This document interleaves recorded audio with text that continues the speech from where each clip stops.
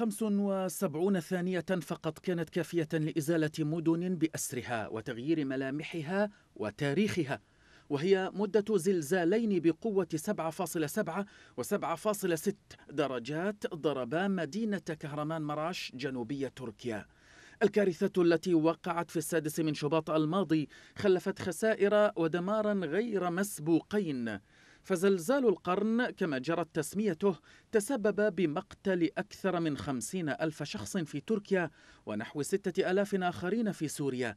كما أن الزلزال أثر بشكل مباشر على حياة 14 مليون شخص في مناطق جنوبي تركيا بعدما تضرر أكثر من 214 ألف مبنى. وأمام مأساة أكبر زلزال يضرب منطقة الأناضول منذ ألفي عام تبعه ألاف الهزات الارتدادية العنيفة. رجح البعض وقوف تركيا عاجزة أمام هذا التحدي.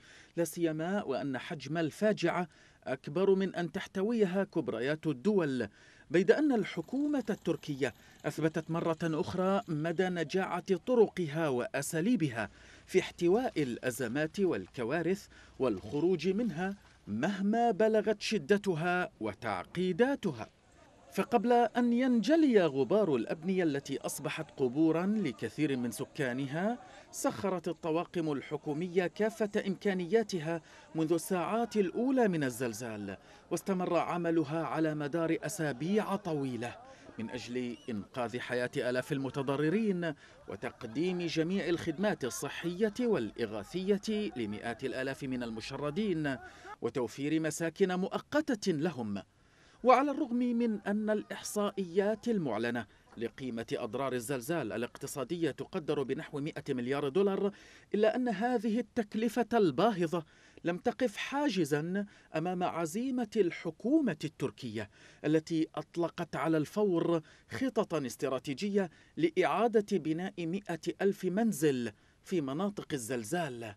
وبالفعل شرعت الحكومة بتوزيع الدفعة الأولى من تلك المنازل خلال عيد الفطر المبارك في إنجاز تحدت فيه أنقرة عامل الزمن. المعالجات الحكومية والجهوزية العالية باتت محل تقدير واسع لدى الشعب التركي المنتشل من مأساة إنسانية كبيرة، لا سيما وأن الحكومة التركية أعلنت البدء بخطة جديدة لإعادة بناء وترميم نحو مليون ونصف المليون وحدة سكنية في عاصمة تركيا الاقتصادية والسياحية إسطنبول التي يسكنها أكثر من 16 مليون نسمة.